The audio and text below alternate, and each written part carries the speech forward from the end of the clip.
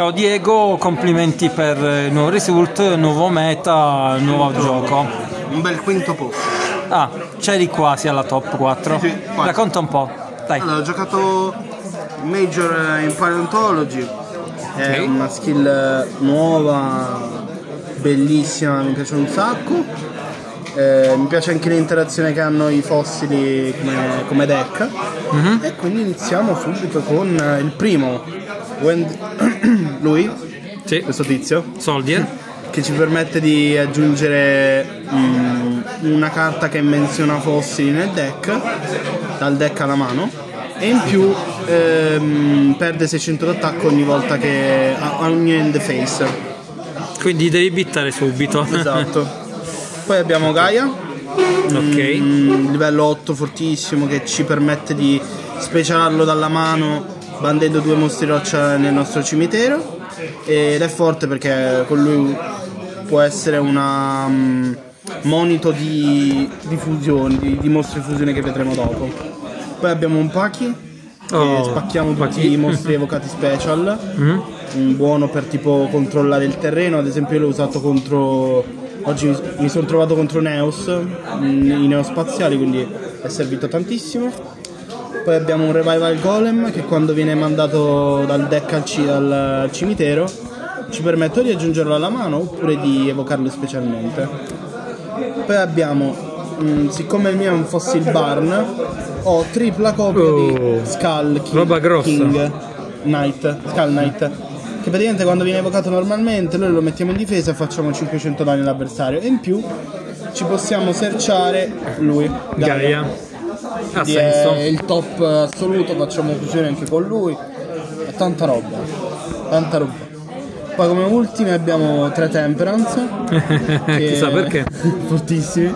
Sì. Eh, sono dei livelli 6, quindi ottime per fare le fusioni. Eh, li mandiamo al cimitero, li scartiamo dalla mano e mm, Non prendiamo danno. non prendiamo danno da combattimento.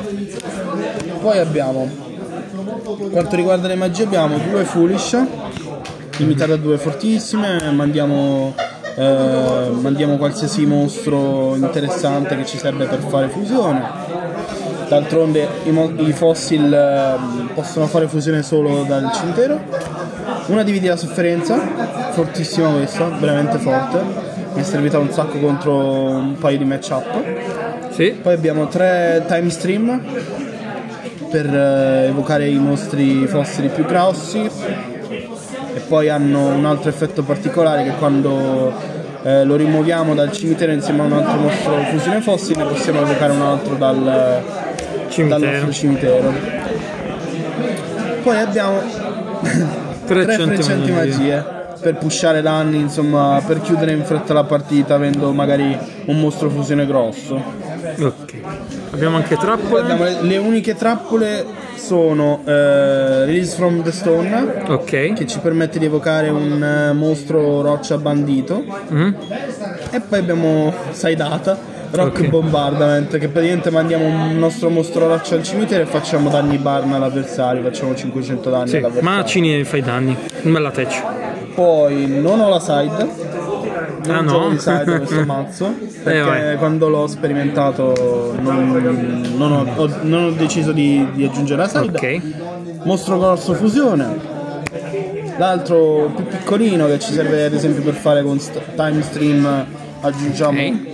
lui evochiamo lui poi con un'altra time stream perché magari lui può essere bandito aggiungere un'altra dal, dal deck ed evocare lui alla fine della fiera abbiamo questa scaletta bellissima. Quindi due di ognuno. esatto. Ok, parere finali prima di concludere.